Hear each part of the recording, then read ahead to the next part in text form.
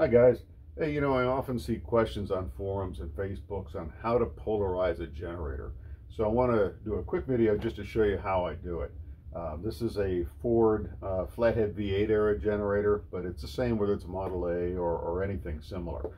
Uh, this is a positive ground generator. So what I'm going to do is I'm going to take a jumper wire connected to the to the positive terminal on the battery, and I'm going to connect it to ground to the case here on the generator. So in this case, the back side of the mounting flange is clean bare metal, so I'm going to connect the, the jumper to that. Then I'm going to take a second jumper wire. I'm going to connect it to the negative terminal of the battery.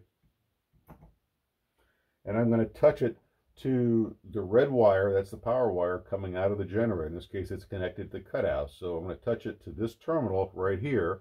Now I'm bypassing the cutout. If it's on the car, uh, this would be connected to your electrical system. So I'm going to connect it here. And when I do, it's going to cause the armature to rotate in a clockwise direction when looking at the pulley. And that's going to, it's doing two things. It's doing, uh, it's checking that the generator is electrically sound, that, that everything is connected properly. Uh, and it's also polarizing the pole shoes. It's passing current through the field coils, which magnetizes the pole shoes and it sets the, the magnetism. When the power, power is taken away, there's some residual magnetism that remains in the pole shoes, and that's what starts the generator every time you fire up the car. It starts it to charge. So when you do this, only do it for a couple of seconds because that the, the field coils can heat up. You don't want to do it for a long time. It only takes a, takes a second to polarize them, but you'll see the, the armature rotate here. So here we go.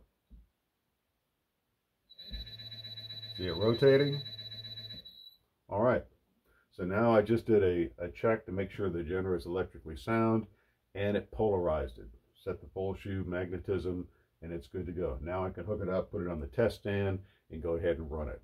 So, hey, I hope you found that was helpful. Uh, if you enjoyed the video, please like it and subscribe to my channel and I'll have more things coming out soon. Take care.